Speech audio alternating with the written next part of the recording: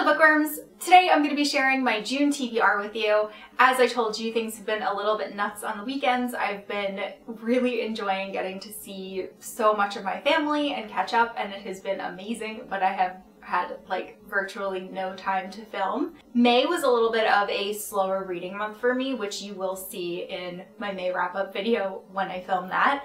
I ended up watching like a lot of reality TV. but I did get like back into the swing of reading things at the end of May and I ended up finishing like three books within a week and a half and then that was like half of what I read in May. So I feel like I'm back in reading mode and I'm excited for June because I have a lot of good books on my TBR and I'm kind of in like a thriller and romance kind of mood so you'll see a lot of books that reflect that. But before I get into the books that I'm going to be reading, I want to give a big thank you to this video's sponsor, which is Bokksu. I talked about Bokksu on my channel last month, and for those who maybe didn't see that video, Bokksu is a Japanese snack box I absolutely love it. I've had a subscription for over a year now and I look forward to it getting delivered every single month. It is amazing. They deliver you snacks that are homemade in Japan and they ship directly from Japan. And a lot of the companies are really old companies. There are some snacks that are developed specifically for Bokksu that are like exclusives that you can't get anywhere else. And there are some companies that are like over 100 years old that develop snacks for Bokksu.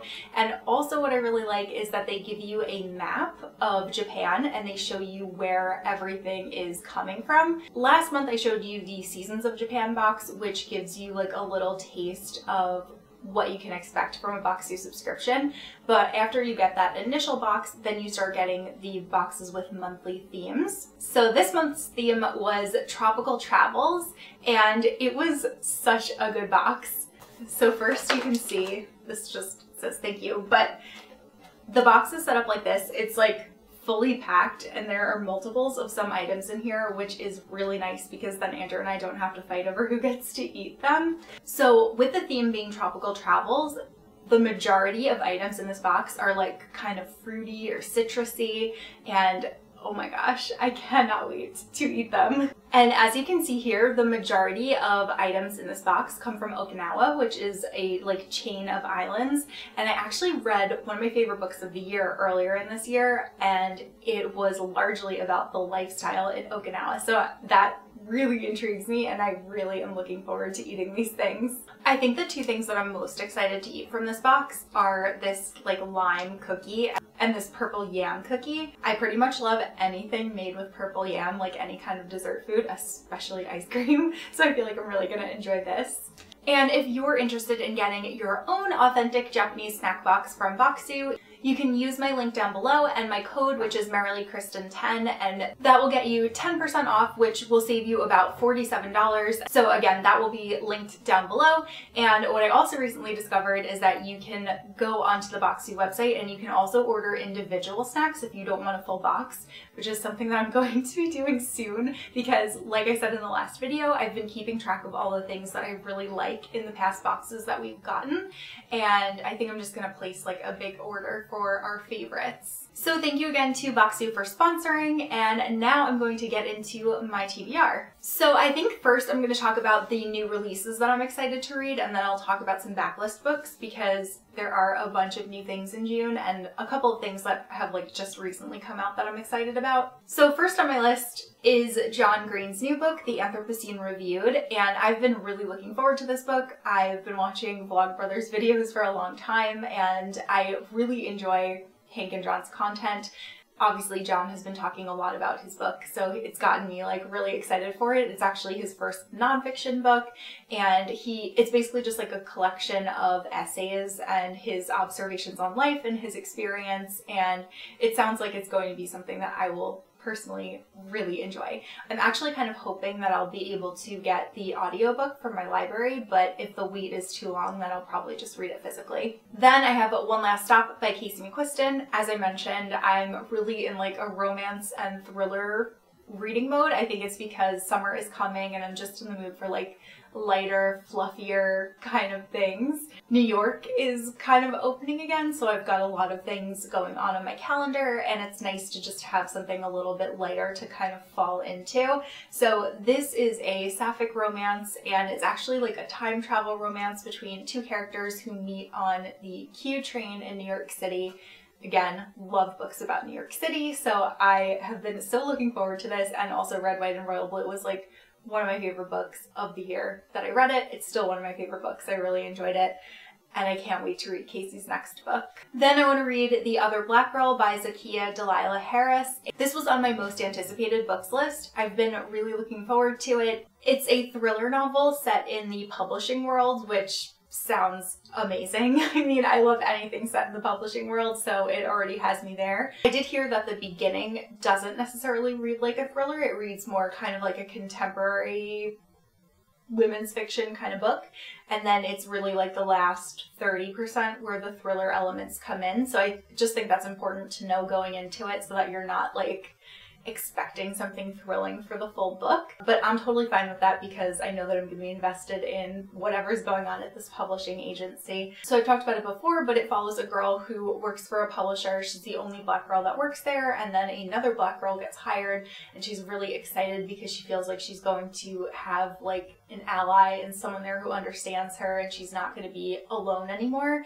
But that girl ends up kind of becoming like the office darling and leaving the original girl behind. Then she starts getting threatening notes on her desk telling her to leave the publishing agency and she like doesn't believe that the the new girl could be doing that, but she also like is starting to wonder if she could be. So Sounds kind of like a psychological type thriller, and I'm pretty excited to read this one. Then I want to read Sunny Song Will Never Be Famous by Suzanne Park. My friend Emma from Misprint recommended this book to me. She really loved it. Both of us have really enjoyed books that kind of break down the harmfulness of the internet and like the benefit in living in your real life versus spending all of your time online. And this book follows an influencer named Sunny who goes to a farm. They all have to unplug from their phones, and it totally just sounds like something that's like completely up my alley. Emma read it like a month ago and she loved it. And as soon as she finished reading it, she texted me and was like, You have to read this. And I completely trust her, so I'm very much looking forward to reading this one. Then, next book, which is a thriller, which was also on my anticipated book list, is Survive the Night by Riley Sager. This one doesn't come out until June 30th, so I likely won't finish it until July, but I am definitely planning on starting it the day that it comes out. This is a thriller that takes place in like the 1990s before the days of cell phones, and there is a girl who gets a ride from somebody from her college campus to head back home, but the person that she's sharing the the ride with, his story is like not really adding up, and she thinks that he could potentially be the serial killer that was on the campus. But she has to survive the night and get home because she doesn't really have a way to get out of the car or to contact anybody and let them know what's going on. I actually just read one of Riley Sager's other books. It was the last book of his that I hadn't read yet, and it was so good. And now I'm like even more excited to get to read another one of his books. Then, not new in June, but very recently released, I'm planning on reading Anna K Away by Jenny Lee. I really enjoyed Anna K. I thought it was so much fun, and I thought that Jenny Lee did such an incredible job or, of portraying Manhattan and making everything feel like very true to the Manhattan that I know and love. From like the addresses used to just like situations that some of the characters found themselves in, even though they were like very ridiculous, it did seem like typical rich kid behavior.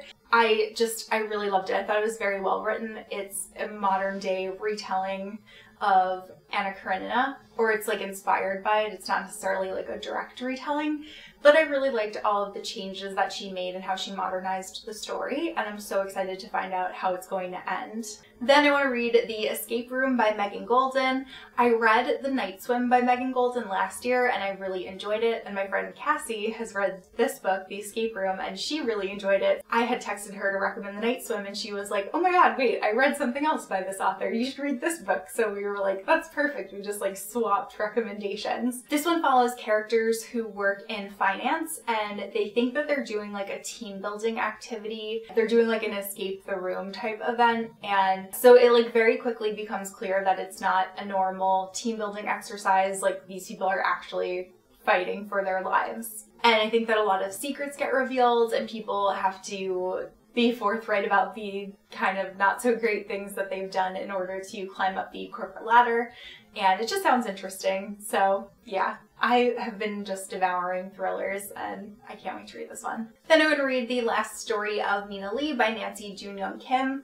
This follows a girl whose mother passes away, so she moves back Uh, like across the country to try to find out what happened to her. So as she is like investigating, she learns that there might be more to why her mother kind of suspiciously died and I can't wait to find out why that is. And then lastly, I want to read Every Last Fear by Alex Finlay. This follows an NYU student who wakes up after a night of like very hard partying to the news that his entire family has died. They think that it happened from a gas leak while they were vacationing in Mexico, but it seems like the police and the FBI think that there might be more to the story or it was not really an accident, but they won't tell Matt, who is the main character, why that is. So basically, Matt wants to find out exactly why his family did die, but it's going to get very dangerous for him in his pursuit of finding out what happened. I think there's like more to it than that, but I don't really want to look into it too much because I do like to be kind of surprised when it comes to thrillers. And, but I've heard really good things about this one from other people on BookTube who seem to have enjoyed it. So those are all of the books that I'm planning on reading in June. Hopefully I'll get to even more than the ones that I mentioned because I am feeling like I'm on like a reading kick, which is good.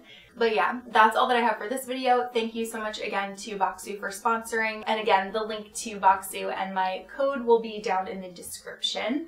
Let me know what you are planning on reading in June and I will see you guys very soon with my May wrap up. Bye!